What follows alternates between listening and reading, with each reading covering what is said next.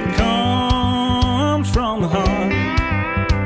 Play something with lots of feeling, cause that's where music has to start.